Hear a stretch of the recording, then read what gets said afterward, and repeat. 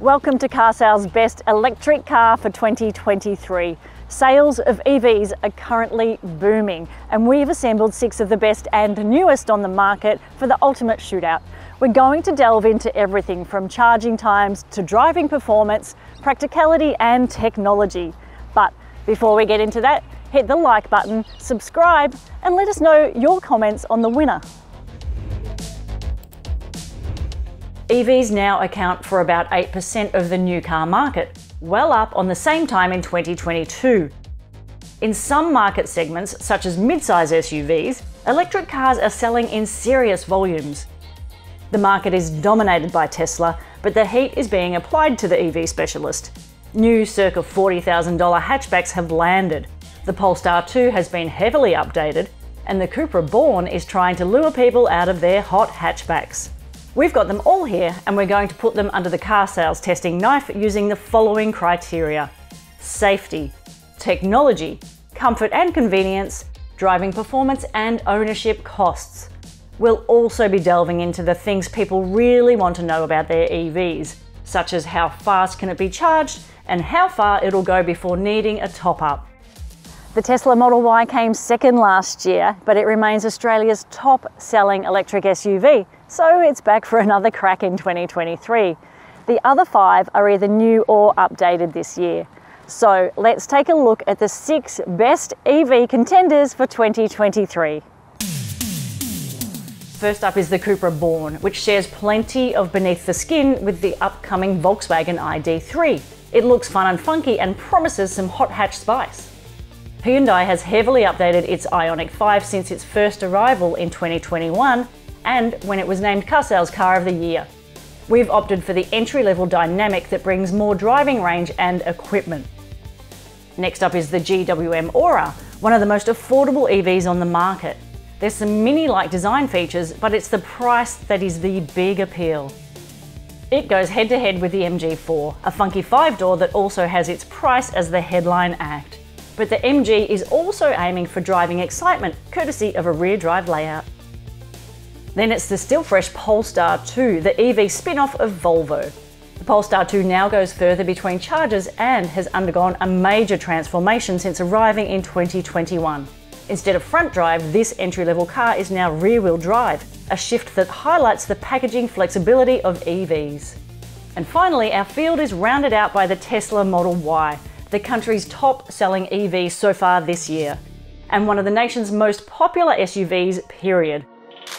This gives us six of the best and newest EVs on the market, but notable absentees are the Tesla Model 3, our reigning best EV, because a significant facelift is just around the corner. The other notable omission here is the Kia EV6, our reigning 2022 car of the year, which unlike the Ioniq 5 hasn't been updated since last year and there's a flagship GT to come. We've tried to go for the most affordable variants of each car because in most cases, they're the ones proving popular with buyers. For the GWM Ora and Polestar 2 though, we got a larger battery pack, something that adds thousands to the price. Still, the rest of each of these cars is the same as its more affordable alternative. So let's get into it.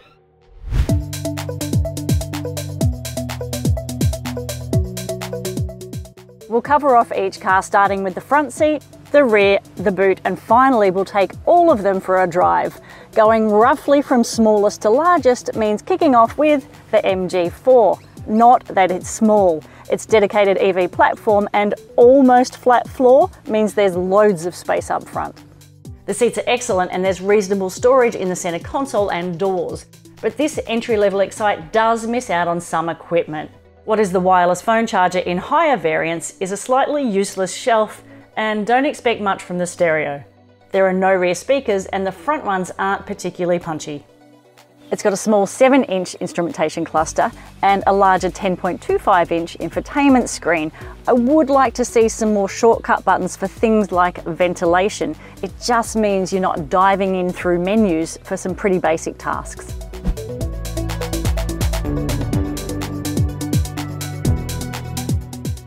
The GWM Ora is deceptively spacious inside. Up front there is loads of headroom and a very clean layout. And we see some of those exterior design themes come through to the cabin, like these toggle switches, for example. It's loaded with gear for the money. Wireless phone charger, powered front seats, 360 degree camera, fake leather and a 10.25 inch instrumentation cluster and matching central infotainment screen. The finishes and materials all look and feel pretty classy, even the faux leather quilted fabric. There are a couple of cubby holes, but there's not much in the way of covered storage.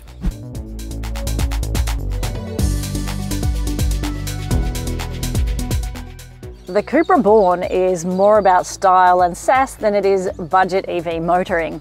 Inside, the Born uses a lot of recycled plastic, so it continues that green theme, but then there are really modern materials that tell a story of the fact that there's more to the Cupra Born than just zero emissions transport. There's a tiny 5.3 inch digital cluster, while the infotainment screen stretches to 12 inches. It's crisp and clear, but some of the functionality isn't great. The volume control is a slider, for example, and you've got to dig into menus to adjust the ventilation.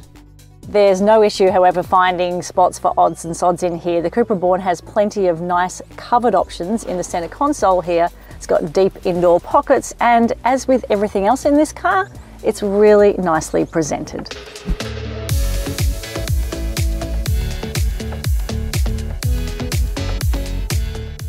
Next up, it's the Polestar. And this is the only car on test that is based on a petrol powered platform. And that leads to some compromises like this quite tall center console. Along with a fairly low roofline, it is borderline compact in here. No issues with the presentation though. The Polestar is a genuine luxury car with terrific attention to detail, from the ambient lighting to the seat trim and every piece of plastic throughout the cabin. There's a 12.3 inch instrument cluster and beautifully clear 11.1 inch infotainment screen. Polestar has handed the back end to Google, so it's the Android Automotive operating system. That means embedded Google apps, including navigation and the ability to download independent apps. It works well and it teams plenty of functionality with ease of use. We like that there are some shortcut buttons as well as this large dial for your audio volume.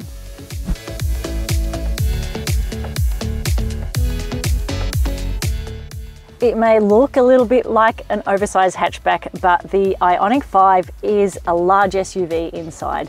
It's a really wide cabin and it gives a great sense of space up the front. The two 12.3 inch screens headline a long list of equipment. Head-up display, ambient lighting, surround view camera, wireless phone charging, it's all standard in this dynamic model. Finishes and materials are modern though they're quite different to what you see in other Hyundais, to match the retro exterior and improve sustainability. There's also no shortage of hidey holes, including a large binnacle in the centre, and this whole centre console slides back and forward so you can put it exactly where you want it.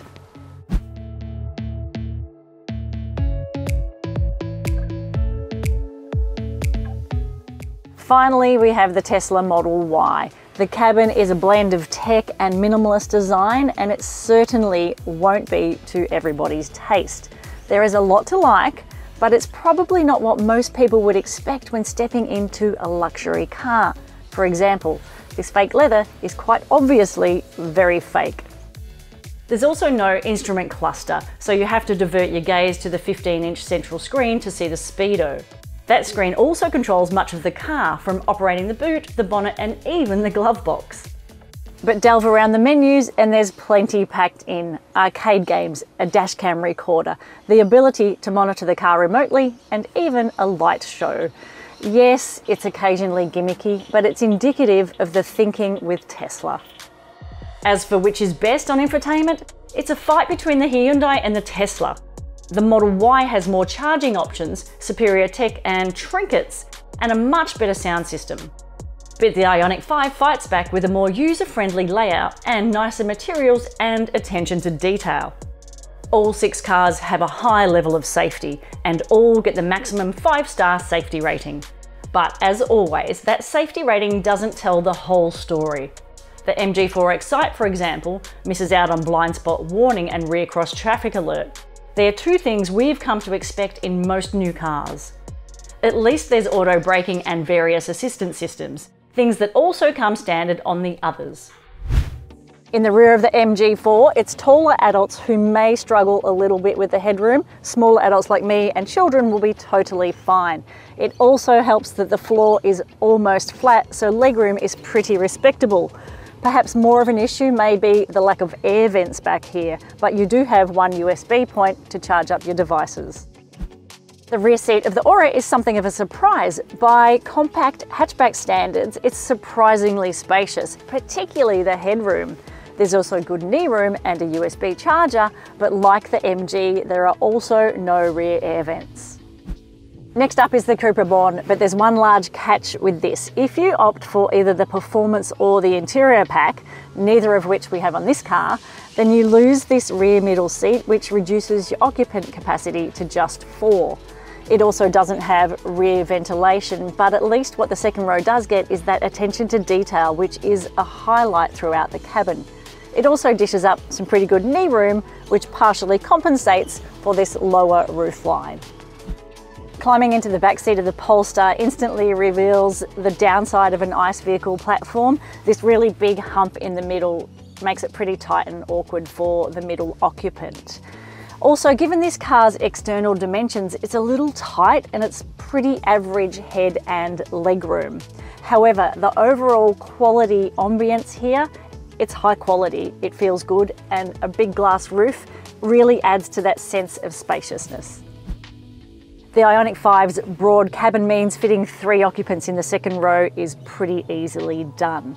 They will be sitting a tad high though, because that battery sits beneath the cabin, everything's perched up slightly, but as far as outright occupant comfort goes, it's excellent. You also get directional air vents, charge points too, so there's little chance of complaints from this second row.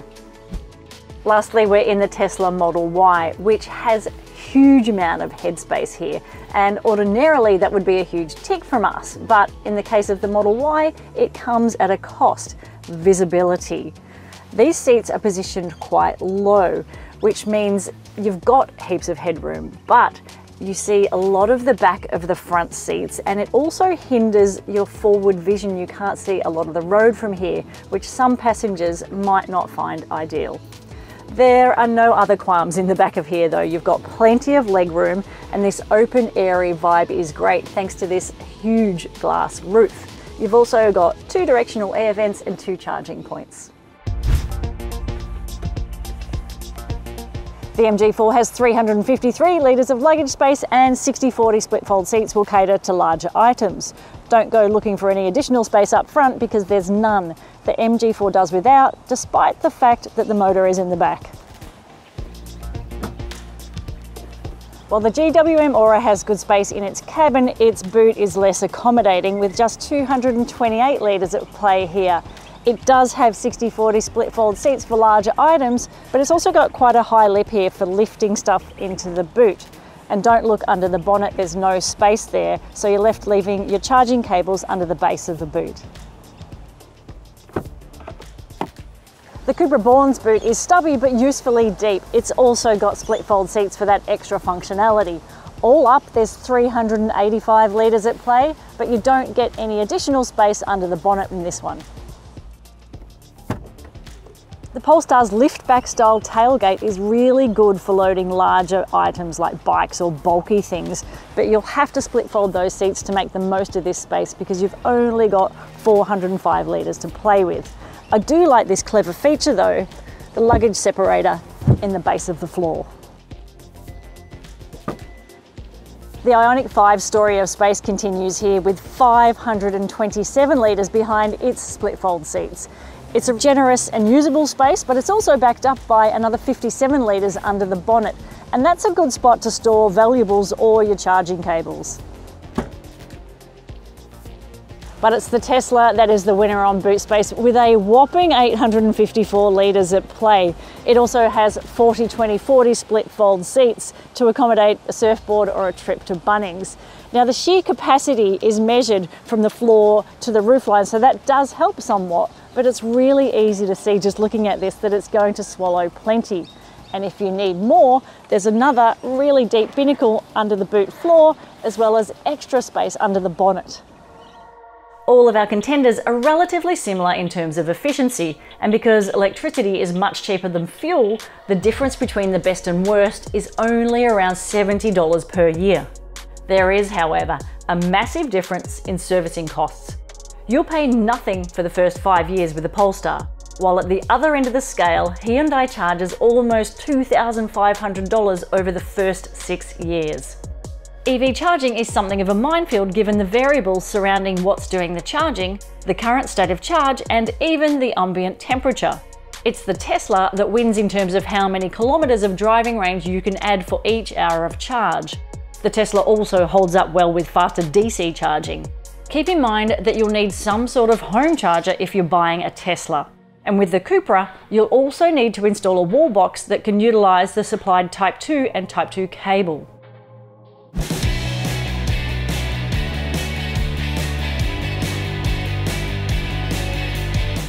It doesn't take long behind the wheel of the MG4 to realise that the engineers have done an excellent job getting the basics right.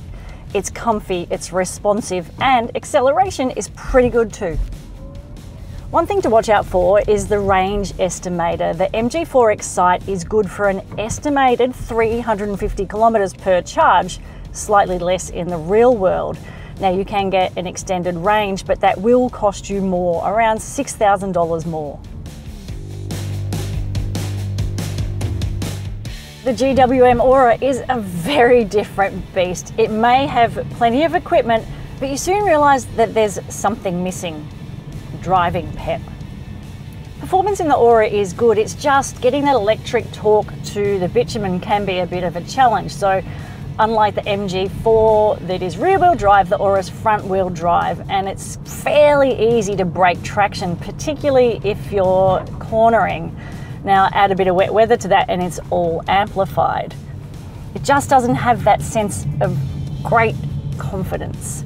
And despite a bit of movement through the corners and the body, the suspension picks up a few jitters, so that just also takes the edge off the ride. Now this is the extended range, which is good for up to 420 kilometers. You can get a lesser range for about six grand cheaper. That brings you back to about 310 kilometer range. So Great for city-based duties, maybe not so great for longer journeys.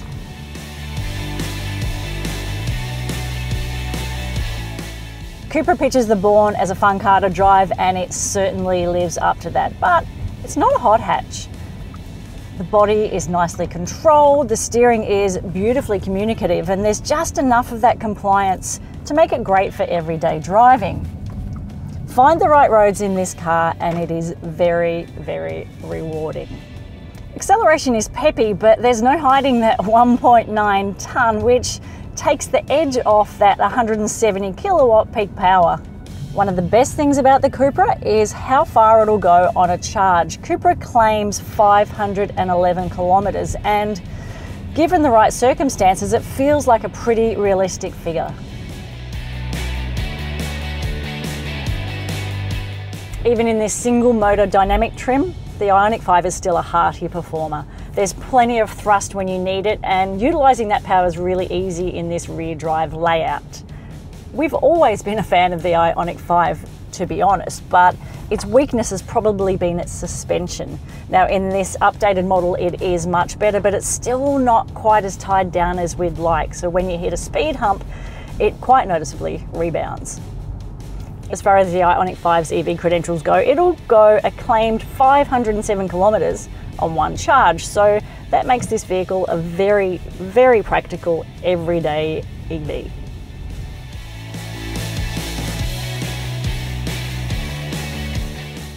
We can't think of another car in history that's undergone such a significant change at its midlife facelift as the Polestar 2. This single motor model's gone from front drive to rear wheel drive, making it far more athletic.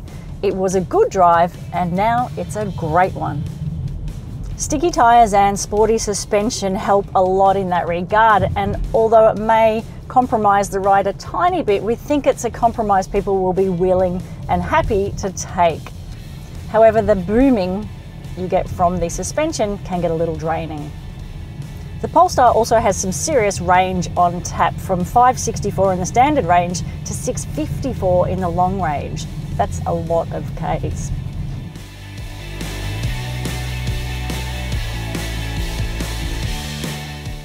Teslas are an acquired taste and that extends to the way they drive. Early Model Ys were pretty firm in their setup, but the new comfort suspension introduced this year has really fixed that somewhat. The super direct steering does take some getting used to, but it's really zippy and it's a great all-rounder. 455 kilometre range isn't spectacular, but then again, you can charge this vehicle at a lot more places than any other EV.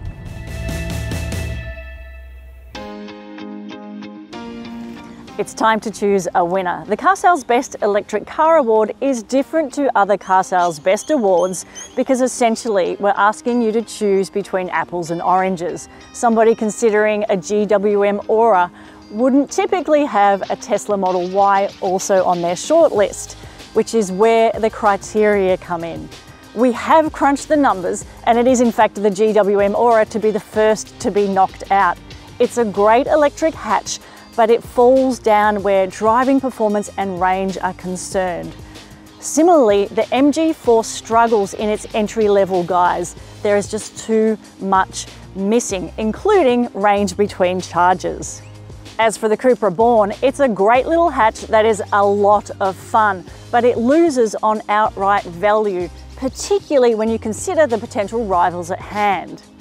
The Polestar 2 has gone from a good EV to a great EV with the move from front to rear wheel drive, but it remains hamstrung by its ICE architecture. So down to two, but it's not much of a contest with the Hyundai Ioniq 5 the next to go. It is a great EV option, but it comes with a premium price tag while still missing some key features. Which leaves us with the Tesla Model Y. It is not without fault, but it shines in key areas, including space, tech, value, and where you can charge it. It is a deserving Best Electric Car winner for 2023. Thanks for watching. Don't forget to like, subscribe, and let us know what you think in the comments.